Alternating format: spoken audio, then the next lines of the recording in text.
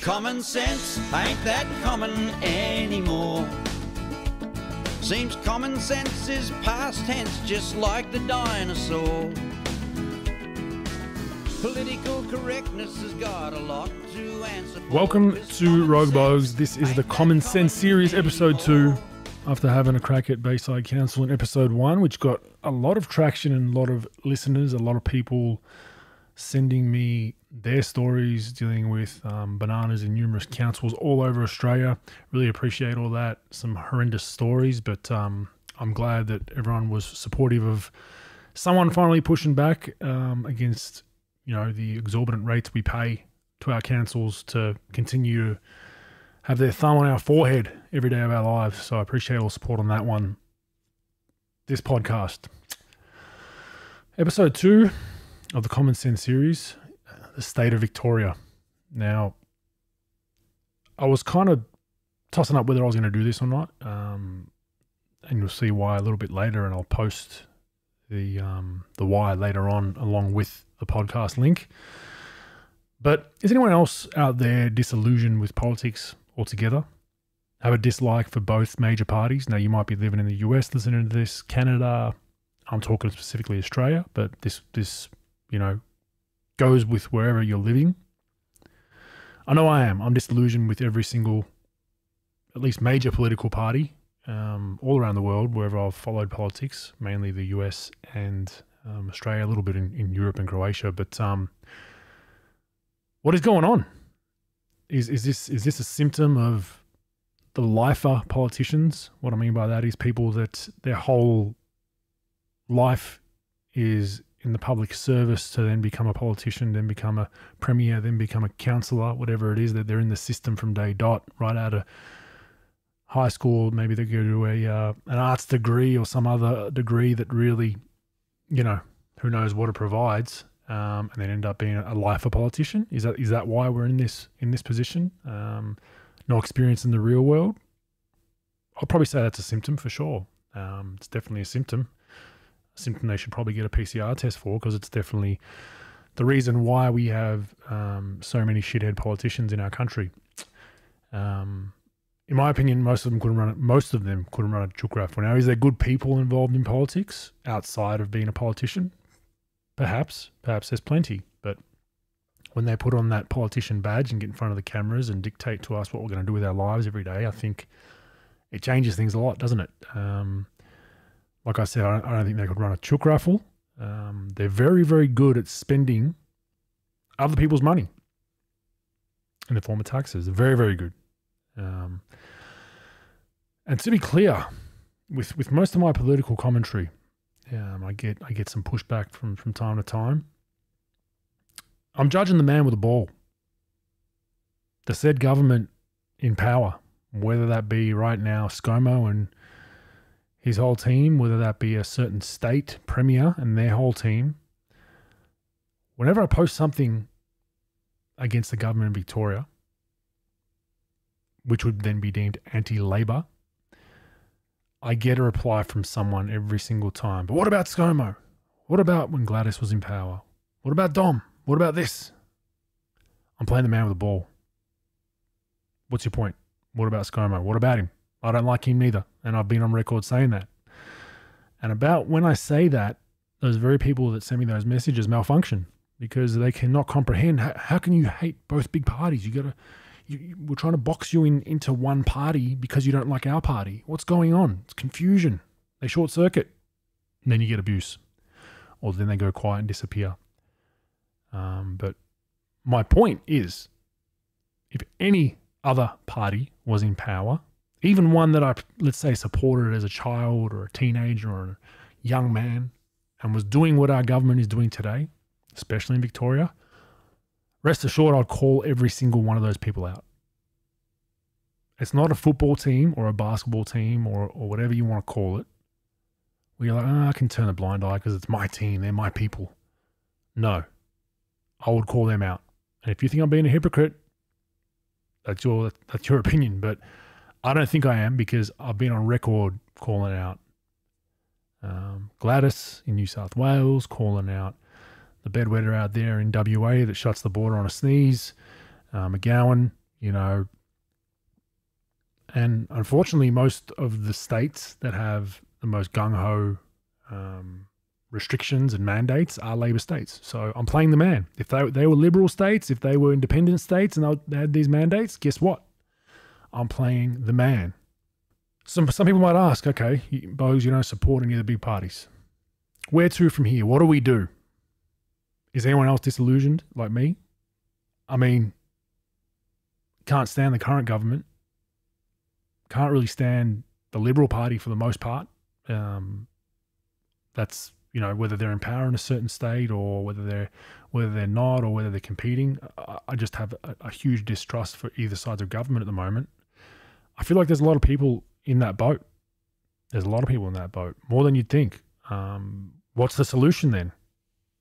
I mean, I don't have a solution because I'm I'm disorientated as anyone. Um, trying to find my way, but I mean, if this is a case, and I've heard this from many people that I talk to, if this is a case of voting out the current party, some people have said we do that at any cost.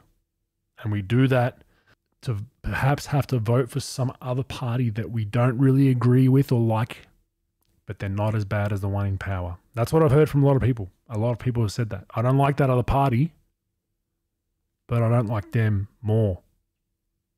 That's where we've come I think, in politics. It's not about what party you like anymore. It's which one you hate more, hate less. Sorry. So you've got one you absolutely despise, and you've got one I hate them a little less. They do some crazy shit, but I can deal with that. But this other party, I hate them with a passion. That's what it's become. It hasn't become which party is going to provide my family and my lifestyle the best possible pathway. Which which which politician is going to have the best um, health service and health industry and, and provide for our elderly and look after our elderly and look after our children in schools. Which which one's going? It's not even about that anymore. It's about which one's which one's going to excuse the French fuck you over less.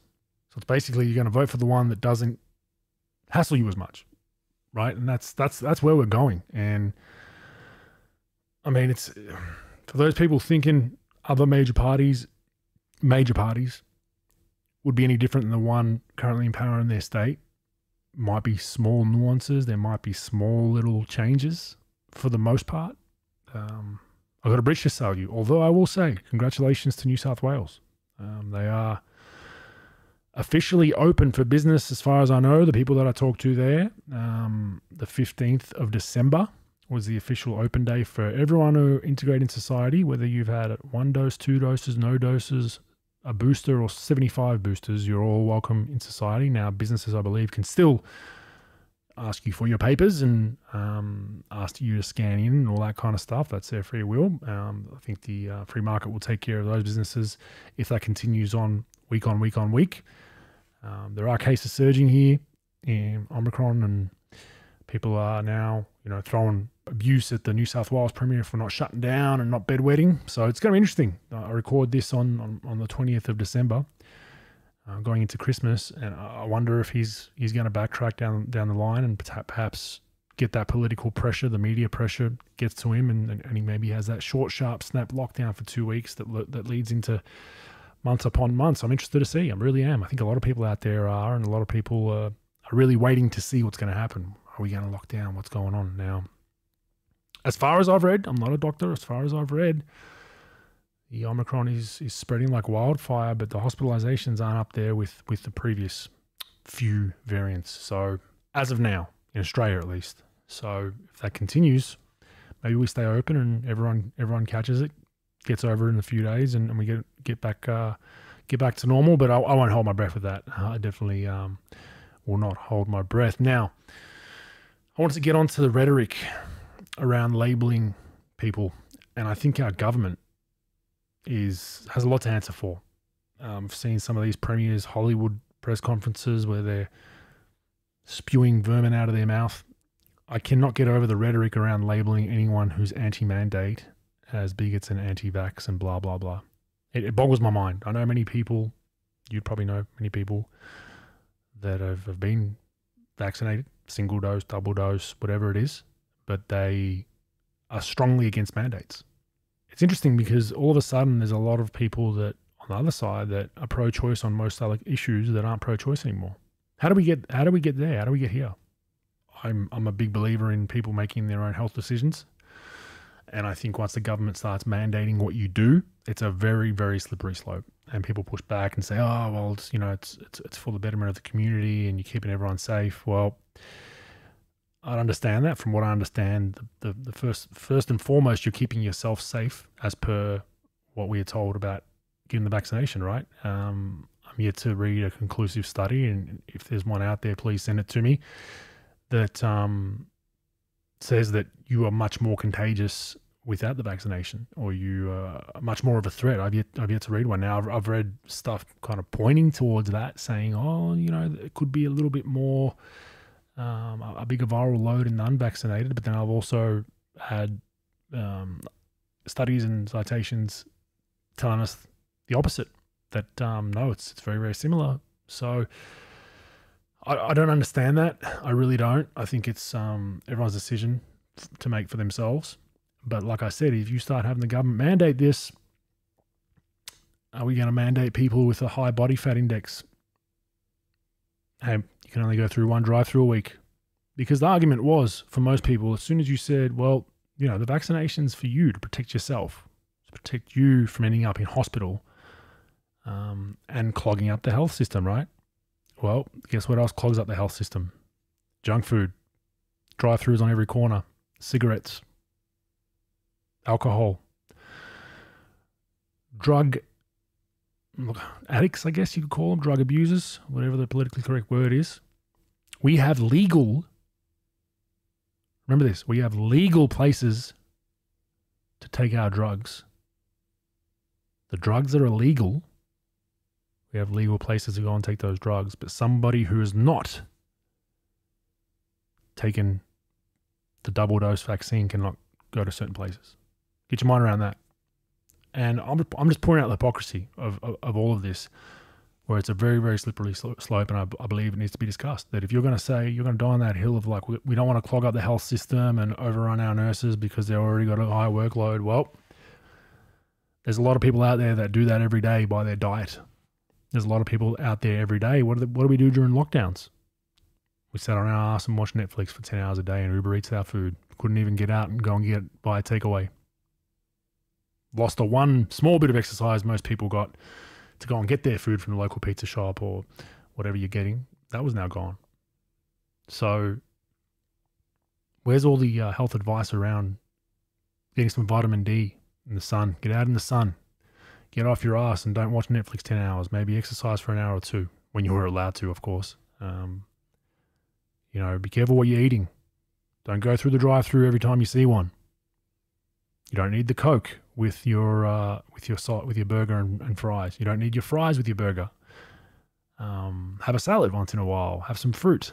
You know, look after yourself. I, I think that that messaging also would be very very important when there's a virus that has now, the last couple of weeks, um, shown that it, it actually attacks people with a, a, higher body fat percentage.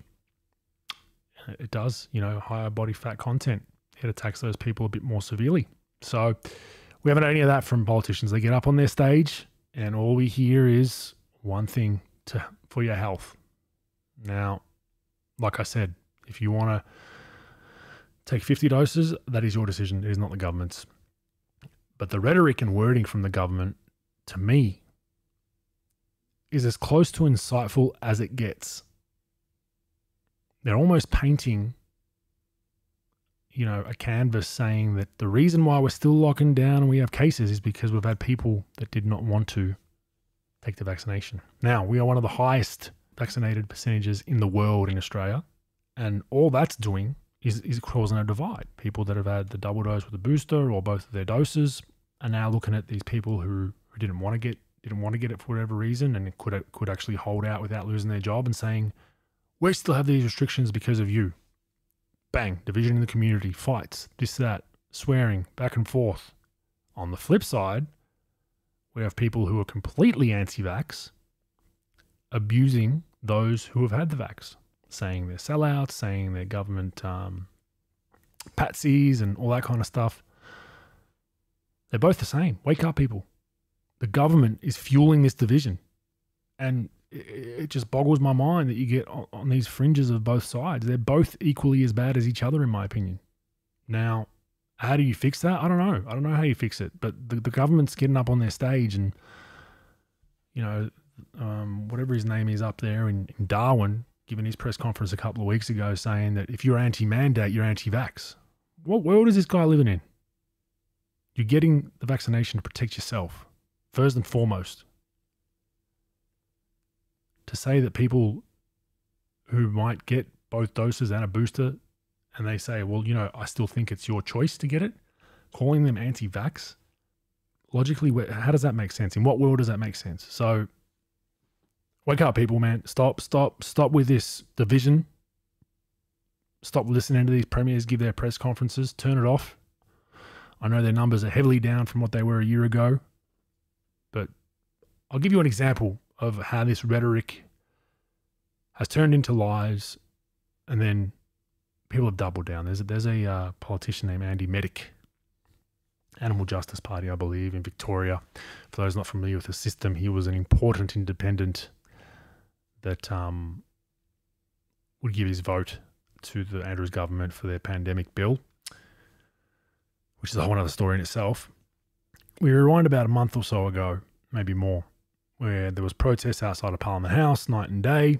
Um, protesters were, rightfully in my opinion, pretty vocal and angry about things. People losing their jobs, you know, blah, blah, blah.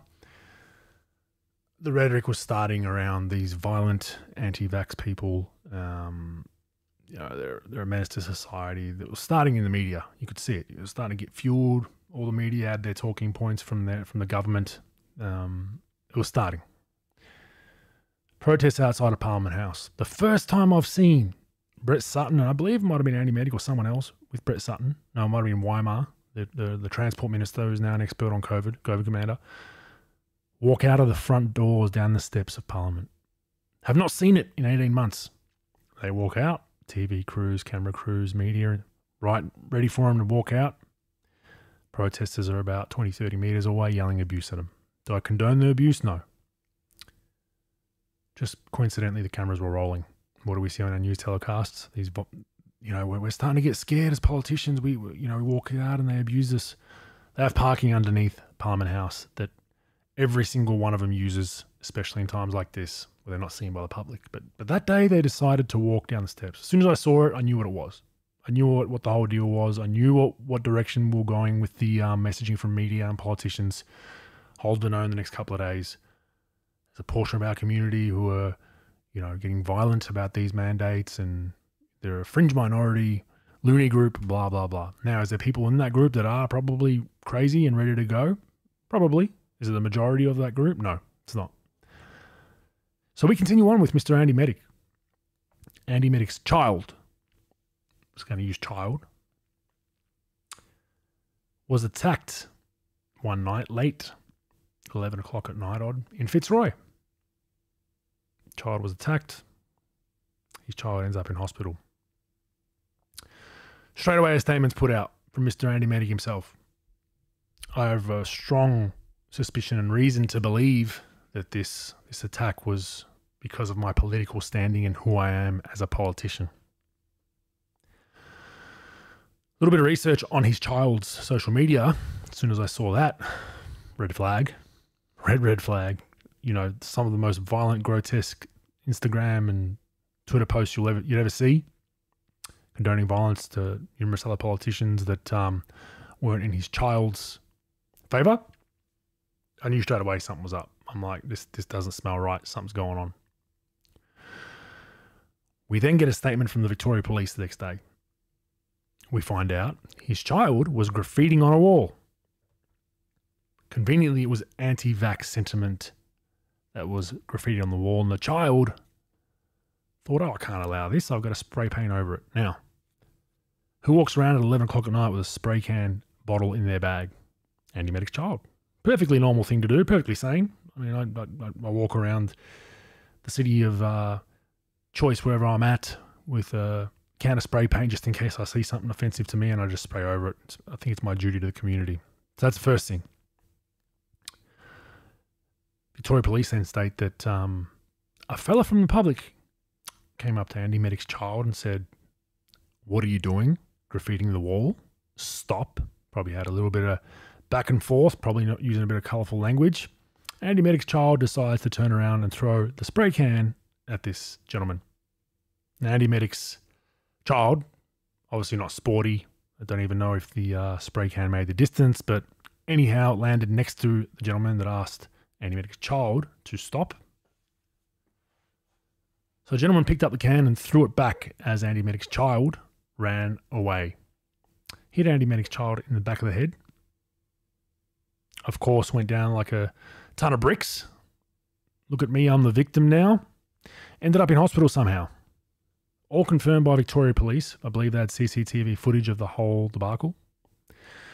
So I'm waiting the next day for Andy Meddick's apology. I'm waiting for what's what's what's going to happen here. He's blatantly lied. He's he's basically said this is this is you know political violence. Essentially, it's these anti-vax people. I know it is. You know, insinuating all that, right? He gets asked about it.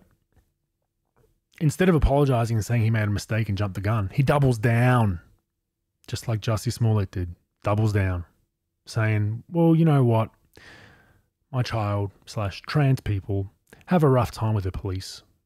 They don't have a good relationship, and what the police statement says is not the truth." So now the very Victoria Police that we all know is pretty much in bed with the Andrews and Labor government Either they've lied or Labor government's lied. Which one is it? What an absolute joke. What an absolute joke that these are our politicians that have their finger on the pulse to vote through these pandemic bills. They're the people we, we, we look up to to lead our our state, our nation, our local council for the betterment of the people. Just just absolutely diabolical stuff, and I've been wanting to talk about it for a while. Where is that at, by the way? Have we have we got a result for that? It was just gone quiet again, right? Don't look over here, everyone. It wasn't a hate crime. It wasn't this. It wasn't that. It was Andy Meddick's child being an idiot and throwing a bottle, a spray can bottle, and getting it back in the back of the noggin. Par for course, in my opinion. But have we not heard anything from there? Victoria Police, can we get it? Let us know about that investigation. I believe it's a fine to to graffiti in a public place to carry a spray can around in your bag. Sounds pretty meditated to me. Can we get a result on that? Someone let Victoria Police know we should get a result on that because justice is due and we haven't got it. Social media campaigns pushed by the Andrews party along with bots, right? Whatever he posts, Sutton posts, you go into those posts and you just see a plethora of we love you, this, that, this, that, you're the best, keep fighting for us, blah, blah, blah. I'm willing to bet this is a team of, of, of 50 to 100 Labor staffers with 50 to 100 accounts each just pumping out tweets because what I noticed is these these posts disappear on the weekends. Good old public service. Um, they, they hype up a little bit at night on weekdays, so they are working overtime. But for weekends, they disappear. And, and watch, Christmas holidays are just around the corner. It's going to go pretty quiet. Um, but when you talk to people out in public, I have rarely heard anyone say they like Andrews. In fact, you hear quite the opposite. A lot of profanity, a lot of hate filled messages when people bring up that name of Victoria. So I'm just trying to figure out. We all know social media is 10 to 15%, you know, of our population, if that. Um, but the sentiment on the streets is completely different. Only person I've ever heard push back was an older lady. I was at dinner. Her friends were actually giving her shit about Daniel Andrews, and she's like, "Oh, you you all just too hard on Dan. He's okay." And this was 2020. I reckon she's even on the anti-Dan train at this point. So when you're out in public and you talk to people, I've ever really heard anyone fire up to, to be pro Dan, which is interesting. It's interesting because social media is not real life. We know that. It's a small minority of people.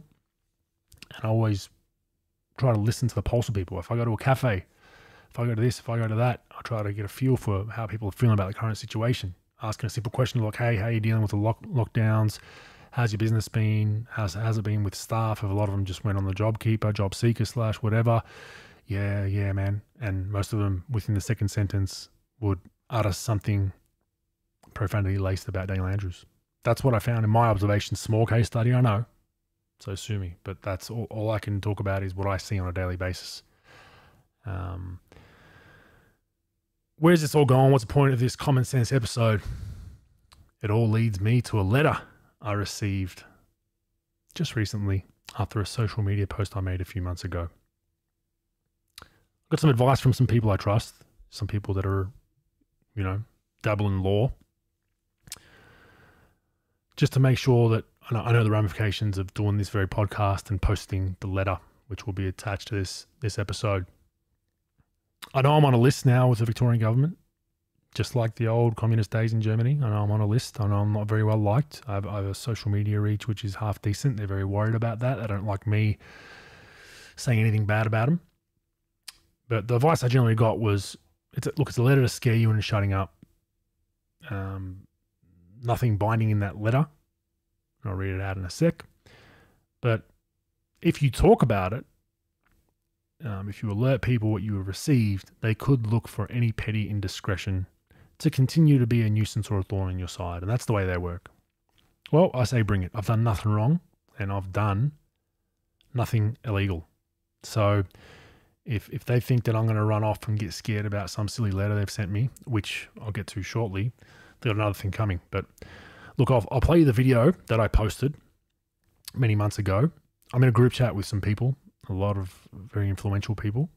Um, most of them posted this very same video. But yours truly was the only one that got the letter, funnily enough. So it seems somewhat targeted. Um, we we kind of waited about a week or two once I got the letter just to see if anyone else would get it. And no one else did. Uh, funnily enough, they they trolled my website to find an email that was an admin email that ended up getting passed down to me from somebody, and that's how I got the letter. But uh, pretty interesting, no one else got it because there was a lot of people that posted this. Here is the clip that I posted. Lying, cheating, stealing taxpayers' money, destroying Victoria. When it comes to corruption, the Victorian government is all in it together. Enough is enough. No politician in Victoria should vote to give this government permanent pandemic powers. If these politicians vote these laws in, make sure you vote them out. Go to votethemout.com.au. Now, I will read you um, the website, votethemout.com.au. Takes you to a website that has hashtag vote them out, authorized by Canvas Deep Propri- Proprietary Limited. ABN number is on there. With a little message at the bottom of it, the Victorian Government is proposing to pass into law a new set of powers that will enable the Premier to extend emergency powers, including closing businesses for up to three months at a time. Three upper house MPs have enabled these proposed laws to be created, and in coming weeks, they will get to pass this into new legislation. Victorian citizens have not been consulted, nor have any of the health advice used over the last 18 months been made public. If you are a concerned citizen, please provide us with your details and we'll provide you a citizen action plan that shows you practical things you can do now. Your action will ensure your members of parliament know your views and that you expect them to stand up for them when they get to vote. And then it just has bottom part of this website first name, last name, email, submit. That's all. That's all it has, right? But that's important. I'll tell you why shortly. That's important. Very, very important. So let's get to this letter. This letter is received, funnily enough, from the Victorian Electoral Commission, the VEC. Reference number dated the 10th of December 2021 has my name, the email that they happen to have found that got passed on to me. Dear Mr. Bogut, this notice advises you that you appear, you appear to have failed to comply with the requirements for the publication of electoral advertisements, handbills, pamphlets, or notices authorization, authorization requirement in brackets under Section 83.1 of the Electoral Act 2002, Electoral Act brackets. This notice is a formal caution for non compliance with the Electoral Act. The fact that a notice has been issued is taken into account when considering whether proceedings should be attributed against you for any future non-compliance with Section 83 of the Electoral Act. The Victorian Electoral Commission (VEC), we're just going to we're going to use that as VEC for the rest of it because I'm struggling with electoral for some reason, but was request, requested to assess a message posted to the Twitter account at Andrew Bogut on the 27th of October 2021. He's understood that this is an account registered by and maintain, maintained on your behalf. Description of the advertisement. The post made the statement, vote them out! Exclamation point. Accompanied by an embedded media clip directing viewers to a website, votethemout.com.au. The media clip announced and captioned that no politician in Victoria should vote to give this government permanent pandemic powers. An image of three current members of the Victorian Parliament was accompanied by the statement If these politicians vote these laws in, make sure you vote them out. Here's a des- description of the relevant offence. The VEC has assessed the post and determined that it likely constitutes an electoral advertisement, handbill, pamphlet, or notice as defined by Section 3 of the Electoral Act, as it contains electoral matter. Section 4, 1 of the Electoral Act provides that electoral matter means matter which is intended or likely to affect voting in an election. If it contains a reference to or a comment on the things in Section 4, 2 of the Act, including the government of, of a state or a member in Parliament, it is to be taken to be intended or likely to affect voting in an election. In accordance with Section 83.1 of the Electoral Act, a person must not, person must not print. This is how they wrote this letter. A person must not, person must not print. A person must not, person must not print. Publish or distribute or cause permanent or authorized to be printed, published, or distributed an electoral advertisement, handbill, pamphlet, or notice unless the name and address of the person who authorized the advertisement, handbill, pamphlet, or notice appears. Well, guess what was on the website? The PTY Ltd and the ABN number. I wonder if they even clicked the link at the VEC. Get this next line in their letter. Social media posts are not listed in section 83.3 of the Electoral Act which prescribes items to which the authorization requirement does not apply. But let me read how they wrote this again, which prescribes items to which the which the authorization requirement does not apply. So we obviously got some junior burger that wrote this letter out, which is hilarious because I mean my five year old son could realize he's written the same two kind of words in a row by accident, double double typed them they couldn't at the, at the Victorian government. It's my taxes at work. Jesus. If found guilty of an offence against Section 83.1 of the Electoral Act, the prescribed penalty for a natural person, am I natural? not sure, is 10 penalty units, equivalent of $1,817 as at the 1st of July 2021. And for, for a body corporate is 50 penalty notes, equivalent to $9,087 as of the 1st of July 2021.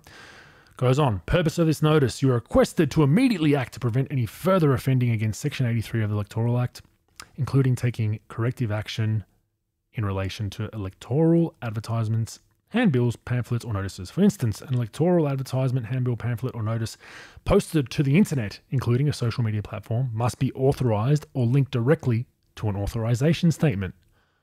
Well, guess where that link at the end of the video goes? To an authorization statement. Further action or information, any further offending against Section 83.1 of the Electoral Act may, may result in prosecution. The fact that this notice has been issued is taken into account when considering whether proceeding, proceedings should be instituted against you for future non compliance with Section 83 of the Electoral Act. If you believe this notice has been issued in error and wish to request for it to be corrected or withdrawn, please make that request in writing. They send an address. If you have any questions in relating to this notice, please contact the VEC, blah, blah, blah. And that is from Keegan Bartlett, the Director of Electoral Integrity and Regulation. Well, VEC, here's your reply. I don't agree with your sentiment. I don't agree with the offences you have stated. Um, in your very own act, it basically says Social media posts are not listed in Section 83.3 of the Electoral Act, which prescribes items to which the authorization requirement does not apply. Interesting there. But that's what I got sent. That's what I got sent. So get this letter, read it, get some advice. People are like, well, you're on their list. They're aware of you. Maybe I'm doing the right things, maybe I'm not. But the letter just it contradicts itself, which is always good. Social media posts are generally outside the bill. They refer to.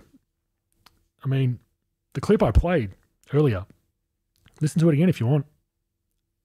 It does not promote a political party. It links to a website which states the PTO Ltd with an ABN number of the and, and the business name. I believe that's fully within the act and within the law. Once again, I'm very careful about not promoting political parties because, like I said earlier, I'm disillusioned. I mean, I have no idea who I would even vote for if I was in that room with a, with a ballot. But I do know it will it would be anyone but the current government in. Is that illegal as per the Act, VEC? not endorsing any party. I don't endorse parties. I'm very strategic when it comes to not endorsing parties. There are parties I agree with some things they say, but I might not agree with all of them. I'm not silly enough to go out there on a, on you know, and promote one single party, because at the end of the day, most of them will let you down eventually. You know what I mean? It's it's just common sense with with politics, at least in the big parties, the big parties, Liberal, Labor. I mean, I'm disillusioned, like many voters, I think, in Victoria and Australia at the moment the purpose of this notice, I mean, this notice does not prevent you from publishing any electoral advertisements, handbills, pamphlets, or notices which properly comply with the authorization requirement, which it was and did by their very own rules. It, it, it sure did. Click the link and you'll you'll follow it. Um, so tell me again, Victoria's a democracy, right? Victoria's a democracy. Where did this come from? Did it come from the, the, the, government I criticize almost on a daily basis? Surely not, right? Because the VC, the Victorian Electoral uh, Commission, they're nonpartisan, aren't they? They're there to protect the uh, the integrity of, of our voting system and our democracy, right? Right? Right? Or am I am I am I missing something here? So what now? Well, one of Dan's payrolled Victorian police pay for play police officers show up at my door with a notice? Is that what's going to happen next? Will I now be sent another another letter asking me to stop? Here is one for you, VEC. I endorse no political party in Victoria, none, not one. But I endorse voting for anyone other than the current one in power. I don't even care if that's your local garbage man. Vote him in before the current government. If saying that is against the rules, well, then send me another letter with your open ended jargon. Thanks for joining me today. I got my rant out. Amazing we live in a place that we all think we're in a democracy and we we lift our noses to countries in, in the Middle East and countries in Europe and, and, and Asia. That's a dictatorship. Oh, look, the government's crazy. We're a democracy here in Australia. Are we really? Are we really? I think it's a great a great sell when people think they're living in a democracy. But what's different right now in Australia compared to some of those very countries we snubbed our nose at many years ago, many wars ago, many dictatorships ago? What's different? We had a curfew we had to be home by. certain people still to this day aren't allowed to go and access everyday facilities. Certain children can't go and play local sport without certain paperwork. That's a democracy.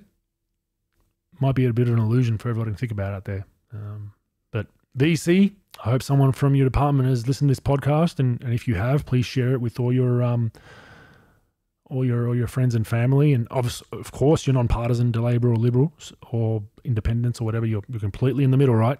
Got it. Have a great day or night wherever you may lay.